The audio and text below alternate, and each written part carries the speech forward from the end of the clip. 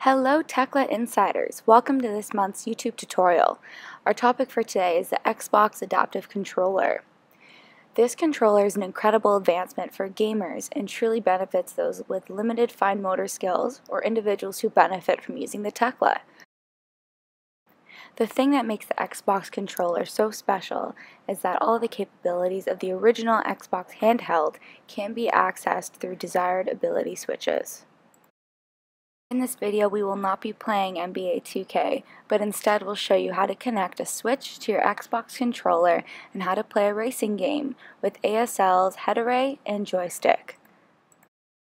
To set up this device, the controller is connected to the back of the Xbox using the double-ended USB-C wire that is provided in the box with the controller. Now, let's connect your desired ability switches. There are a total of 19 different ports for personalized control. Whether you have the capability to move your feet, only your fingers, or slight neck movements, all switches are compatible and can be personalized to the user's capabilities.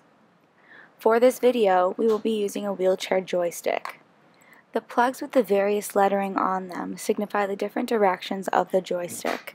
By plugging them into the backside of the Xbox Adaptive Controller, users will be able to play their game the way that works best for them. Let's play. We have programmed our controller so that the two larger buttons will power the car forward and backward. Then the D-pad will control the direction of the race car from left to right.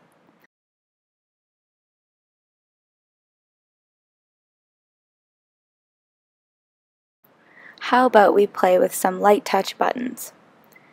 With the head array, we took our light touch button and stuck them to the multiple surfaces of this device.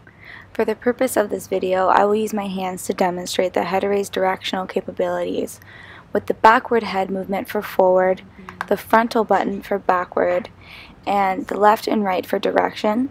It truly provides ease for users with only head movement available. Overall, the Xbox Adaptive Controller is an innovative device that is making large strides for the accessibility industry. We hope to see more electronics like this emerge in 2019. For more tutorials and accessibility insight, be sure to subscribe to Tecla Insiders below. Thanks for watching.